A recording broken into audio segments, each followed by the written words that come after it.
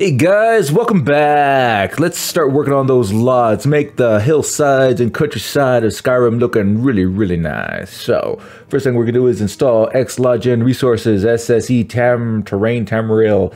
This plugin adds back terrain for Skyrim and etc. We need it, so let's download it. Let's go to Files. All right, we're gonna download the main file here, mod manager download. Go to download sections, okay. All right, let's activate this. And that should be an ESM. Yep, we want to we want this to be located directly after Wyrmstooth, so just nudge it up. It'll automatically be placed, I think. Yep, directly after Wyrmstooth. All right, that's what we want. All right, activate SSE Terrain Tamriel. That's what we just did here. Load it after Wyrmstooth. Yeah, we did that. Now, in the drop down here, we'll go into Xlodgen. As soon as I find it, there it is, Xlodgen 64, run. Okay, once we see this uh, window pop up in this left section here, right click, select all. And in these uh, objects here, we want uh, terrain LOD to be selected and nothing else. So terrain LOD. All right, so we got some settings to tweak. So this is for settings for LOD 4 right here. So we want quality to be set to zero build diffuse size and build normal size to be 512. So here's build diffuse, build no, um, normal, set to 512 each. Format BC7. Oh, BC7 quick, which it is already. Good. Protect borders, we want that to be checked. That's right here. Uh, map, we want both of those unchecked. The They are unchecked. Gamma set to 1.25.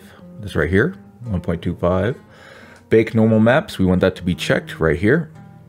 And default size diffuse right here and normal to be 256. So for me, everything was already set. I wonder if this is um, loading up some old cache that had um, lying somewhere. But um, let's go through that again real quick. So quality right here, set it to zero. Diffuse, uh, build diffuse and normals, that's right here. Set those to 512. Format right here is BC7 quick. Protect borders is checked. Mip maps, we want these right here. Both of these to be unchecked. Gamma right here. Where is it? Right here. 1.25. Bake normal maps to be checked. That's right here. Default size. Diffuse and normals right here. We want that to be set to 256. Okay. Now we're going to move on to LOD 8. So drop down and go to 8. Okay. Here we want qualities to be set to 2. Mine's already set to 2. Build diffuse size and build normal size to 512, 512, 512. Format BC7 quick. Okay, I'm good there. Optimize unseen is to be on. That's right here.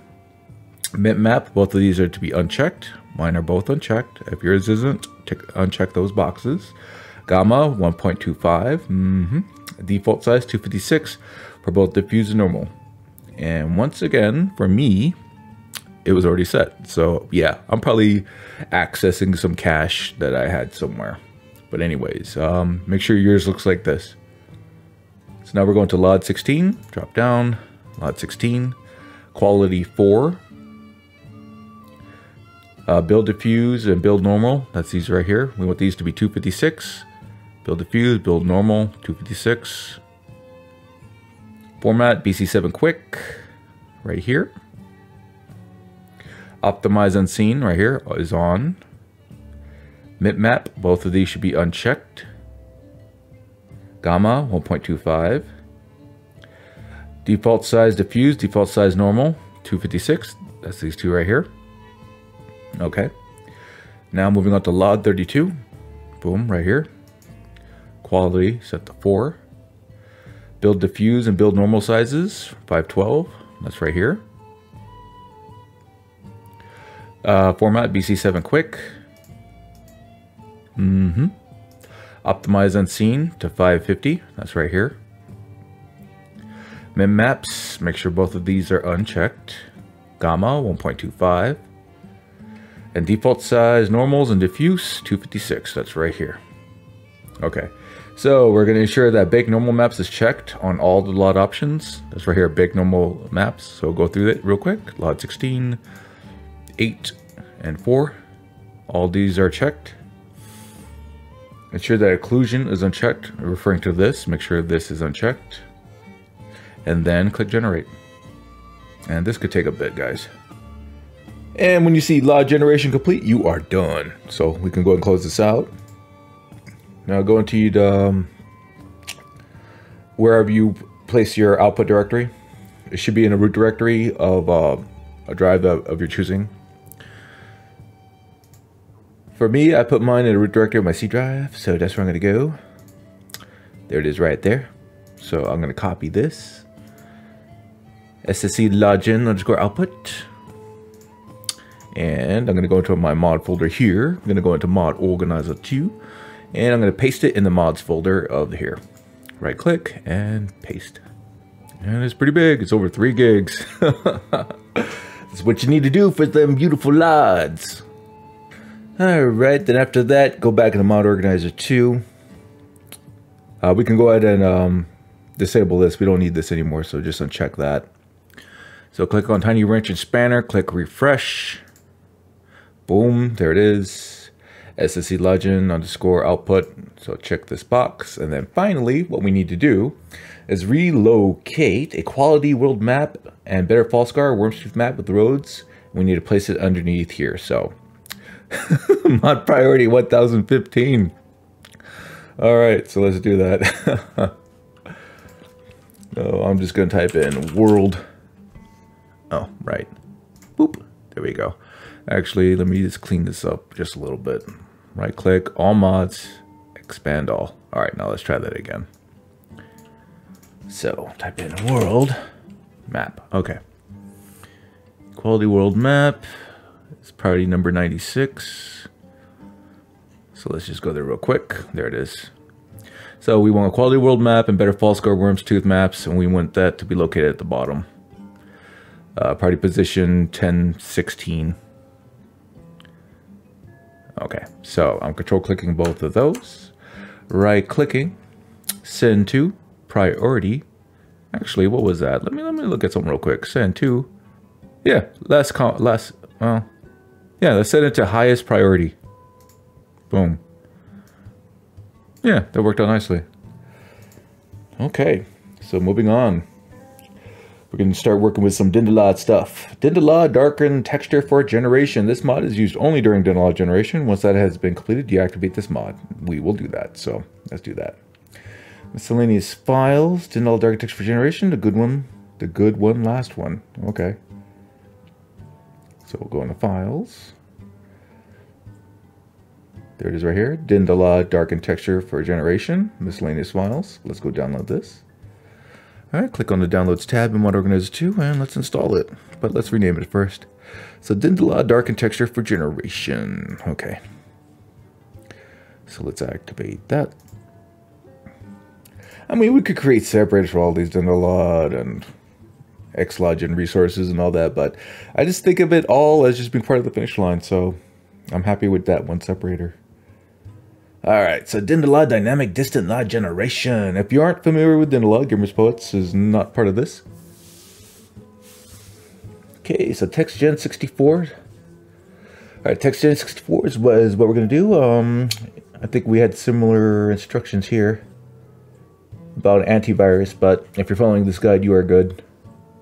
All right, so TexGen. Before running TexGen, make sure you have the process exclusion for in the antivirus. Okay, Ultra Trees will significantly increase your VRAM usage. If your graphics card has less than 6 gigs of RAM, VRAM, consider uh, generating traditional tree LOD. Okay, so let's go ahead and do this. Select TexGen 64 from the drop down here. There it is, TexGen 64. Run. All right, so let this load up. Uh, okay, so take note of where uh, your output is. So mine's set to be um, in the mod folder, Lex Legacy of Dragonborn is what I called it, in the DynDOLOD folder there. So that's where my TexGen uh, output's going to be. So let's make sure. Ugh, okay. Oh, that's how it's going to be. That's how it's going to be. Why? All right, so I got to look look around here. Okay, so change stitch object LOD textures. Stitch object LOD textures to uh, size 256 1440p. Mine's already set to that. Rendered objects same thing, 256, 1440p. Um, I'm wondering if I'm, once again, accessing some cache that I didn't delete. All right, so then we're gonna change grass and LOD billboards to the following. That's right here. Units per pixel, that's right here. We're gonna it, set, set it to 11, 1080p. I'm already there. Grass is unchecked. Trees is checked. Uh, direct, I want that to be, yep. Okay. To 135 and ambient to 55, already set there. HD tree, we want this checked. And that's also going to be set to uh, 135 and 55. Smoothness to zero. All right. Rendered is checked. Direct 50. Ambient is 150. Smoothness zero. Diffuse map. We want that to be BC7 quick. Uh, the diffuse, same thing. Normal specular, same thing. And so, so is normal here. Okay.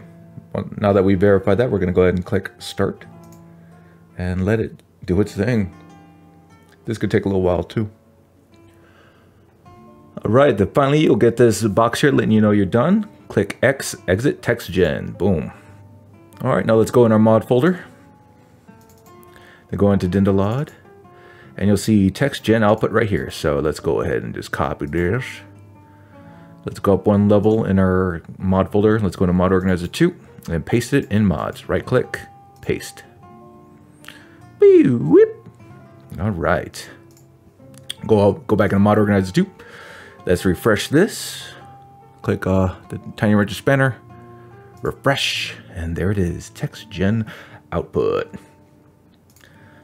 All right. Now we're to do DynDOLOD. So in the drop down menu here, go to DynDOLOD and run. Scooch that over just in case. All right, so from here in the top left section here, we want to check all this. So right click, select all, and then in the options, let's see, what are we doing now? Options in the bottom section. All right, so the options category in the bottom section, check object LOD. That's this. Uh, dynamic LOD, we want to make sure that's checked. Glow windows, yeah, check that. And high, click on high. For ultra trees, guide default, check ultra. Okay. And uncheck tree LOD. Well, when I checked ultra, it automatically unchecked tree LOD. For traditional tree LODs, uh, check tree LOD and uncheck tree LOD. So if you were, you can only choose one or the other. So we're going with ultra. Okay, set max tile size LOD right here to uh, 1024. Already set. Uh, max tile size full to 512. Boom. Okay. Set billboard brightness right here to uh, to five or negative five rather. Boom. There we go. And set max tile size billboard right here to 512. Nope. No, 1024. We want that to be 1024. Good. Check fake lights. Okay. Let's see. Yeah. Check. No. No. No. No. No. No. No. Fake lights. Wait a minute. Let me let me see this. Check. Fake lights. Child world. Fake lights. Yeah, right here. Brain fart. And then check occlusion data. Where we at? Where is occlusion data? Oh, it's already right there. Okay. Yeah, and then for our quality, occlusion data quality, we want to set this to 3. Okay, then check terrain underside. Right here, that's checked.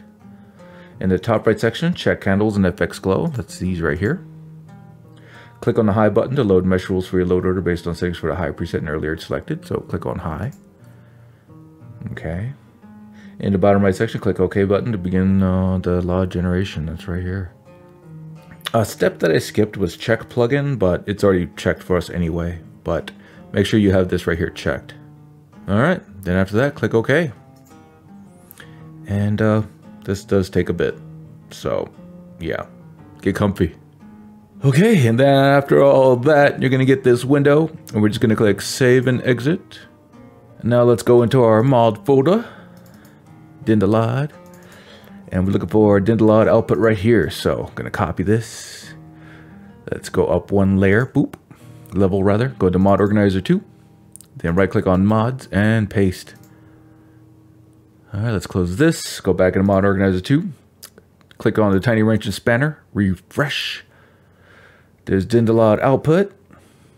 Let's check that box. And let's uncheck DynDOLOD darken textures. We don't need that anymore. Go into our plugins window. And we need to relocate DynDOLOD ESM. So just nudge it up. And we want to make sure that's placed directly after Wyrmstooth. Yeah. Congratulations, you're almost done, and now you can actually boot up and play the game! Only some settings and MCM changes left to go. Guys, it's been a long road, but man, you pretty much did it. This is it. Next video, we're gonna get into MCM settings and, and, and things. But yeah, you're pretty much done, guys. Um, yeah, the next video is just for people that want some um, assistance with setting up their MCM stuff. But um, yeah, you're ready to boot up and go. Or at the very least, check out what you did. Walk around, uh, take a peek at the sites, check out the NPCs, check out everything. You did a good job. You you worked hard and and now you've completed the guide. yeah, but make sure you back up some stuff. Back up uh, Skyrim.esm and whatnot because Skyrim Anniversary Edition is about to come out and wreck everything. But anyways, guys, thank you so much for coming along for the ride. Um, I guess at this point, I'm going to ask, um, now that you've installed everything, are there any mods in the guide that you want uh, to remove? And uh, that's going to lead into the next series of videos after uh, Lexy's guide is how to remove mods from Lexy's guide safely and how to add mod uh, mods to Lexy's guide safely. So I would like to hear some suggestions. Uh, put it in the comments below. Which mods would you like to see removed from Lexy's Guide? And if you have any specific mods that you would like to add to Lexy's Guide that you think uh, you might have some problems with. So I'll make uh, videos on that. Well, uh, well, anyways, guys, thank you so much for your support. Uh, thank you for following me along throughout this series and um, trusting me. And um, at this point, I would like to ask you to please uh, subscribe to my channel I'm trying to get to that uh, magical 1,000 um, subscribers mark, and uh, it would just be so amazing if I could hit that. But anyways, guys, thank you so much for everything, and uh, have a wonderful day. Enjoy the game. You have an, an incredible uh, mod loadout to play with now, and um, yeah, thanks so much. Anyways, uh, maybe I'll see you in the next video with MCM uh, settings.